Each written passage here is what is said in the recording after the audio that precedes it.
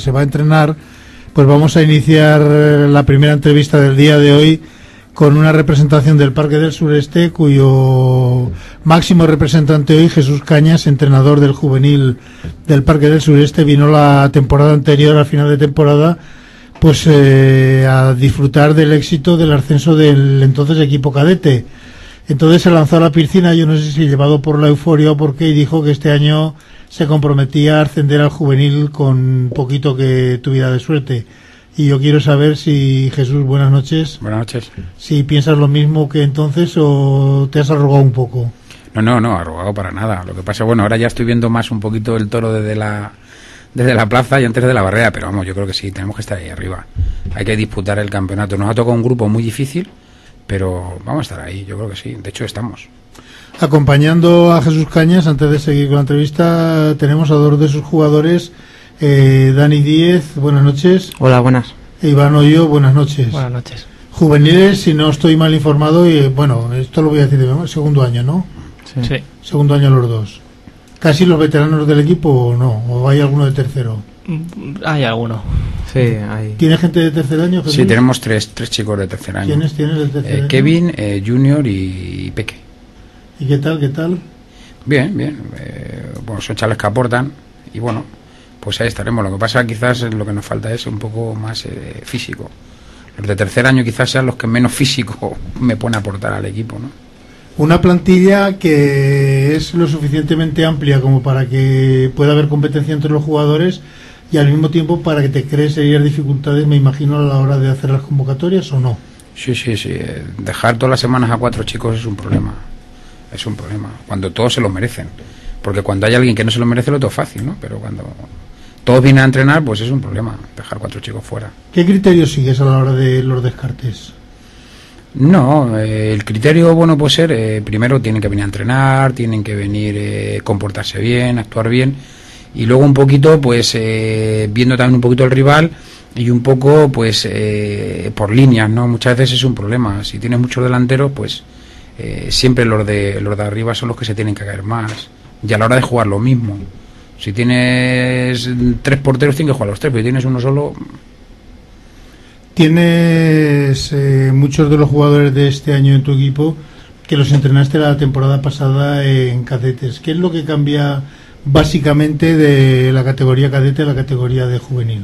Además de que, aparte de que tengan un, un año más, claro, evidentemente. Eh, sobre todo el físico, el físico. Yo ahora mismo de, de los 20 chicos que están conmigo son 6 del cadete A del año pasado.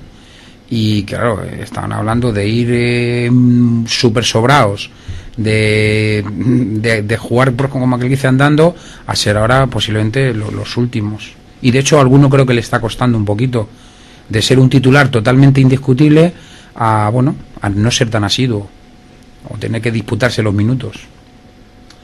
Daniel Díez eh, pertenece a una saga de futbolistas. Yo, cuando me encuentro muchas veces por ahí con su padre, siempre me dice: Tengo a cuatro hijos jugando. Bueno, me decía el año pasado que tenía cuatro hijos jugando en el Parque del Sureste. Ahora Marcos Díez, que era el mayor, me acaba de decir Dani que de momento por los estudios ha dejado el fútbol. ¿Que en tu casa se habla de algo más que de fútbol, Dani? Eh, bueno, se intenta hablar de otras cosas, ¿no? Pero bueno, el, el fútbol es lo que destaca en casa, ¿no? Nos gusta a toda la familia el fútbol y mi madre está un poco desesperada, ¿no? Sí.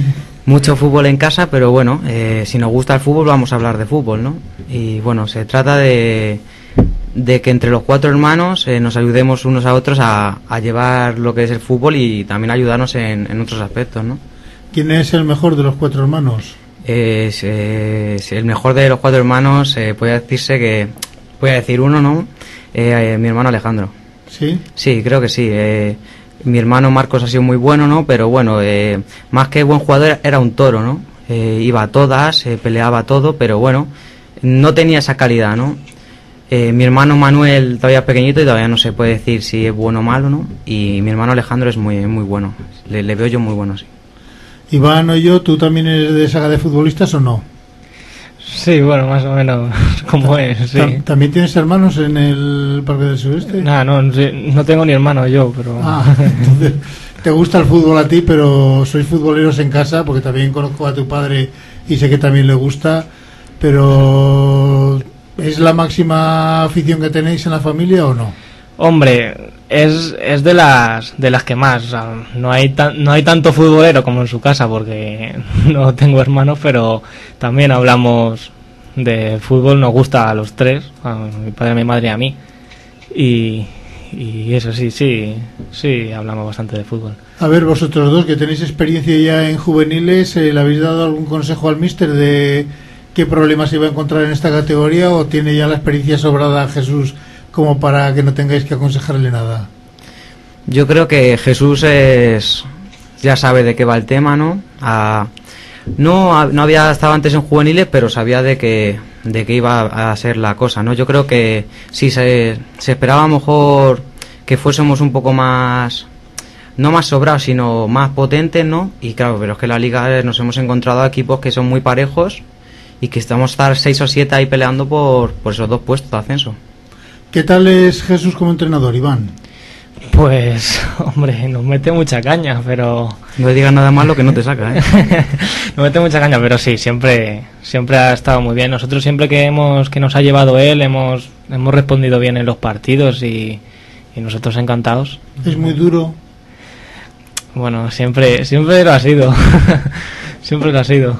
¿Qué es, ¿Qué es lo que más te ha repetido? Porque ya veo que no es esta la primera vez que estás con él como entrenador.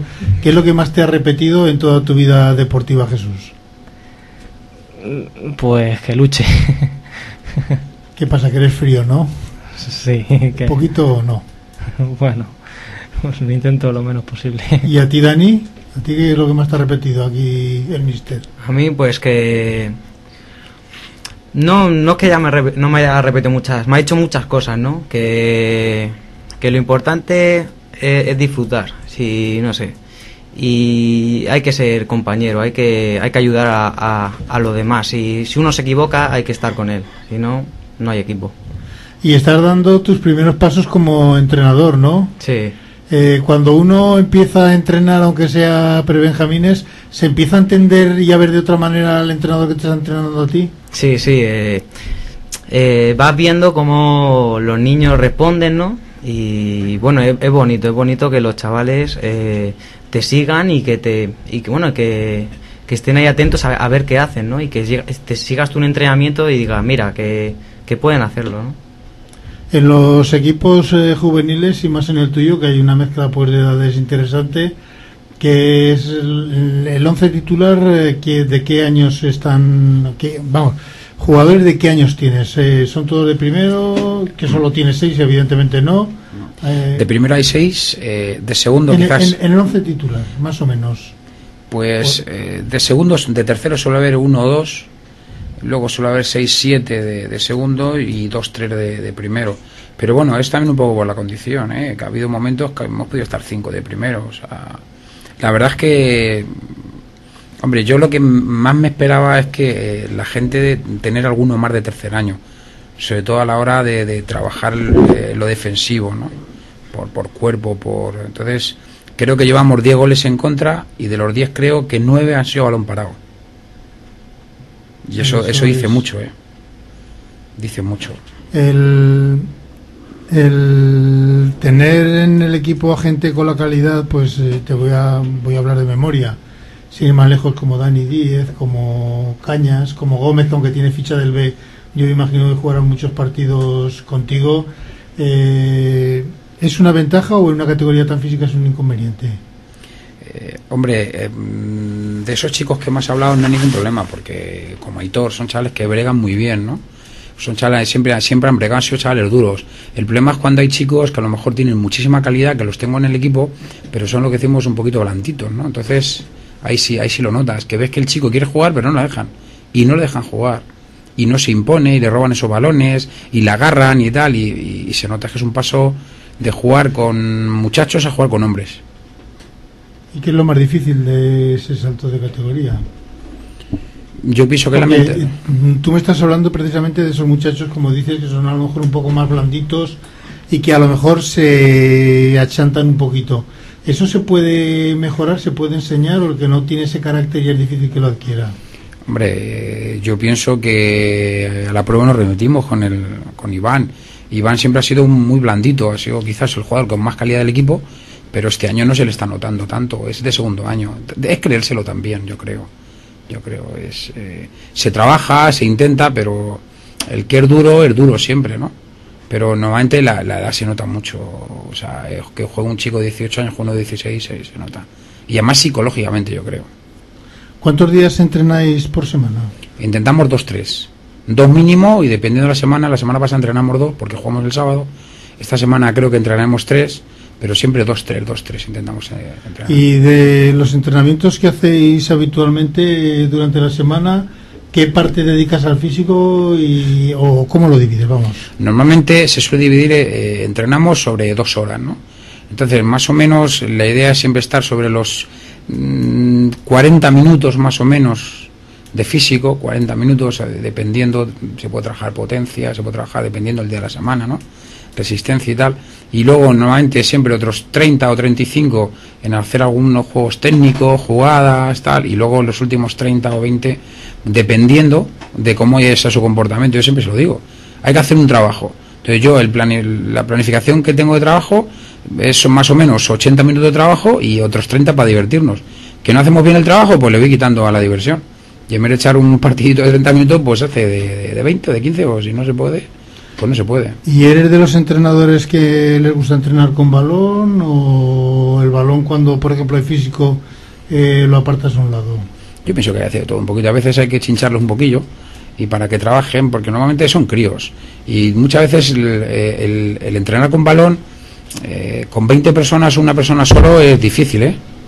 Es difícil solo. Entonces, eh, hay veces que yo tengo a Luis, tengo, tengo a, Enrique, que entonces lo bueno que tiene es eso, que, bueno, los dividimos en grupos y se puede trabajar más con balón. Pero es difícil, ¿eh? 20 personas con un entrenador solo, un balón, se empiezan a, a tirar balones fuera y tal, y, y es difícil hacerte con ellos, es difícil.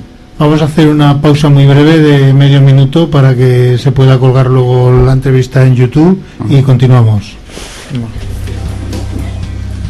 Perfecto.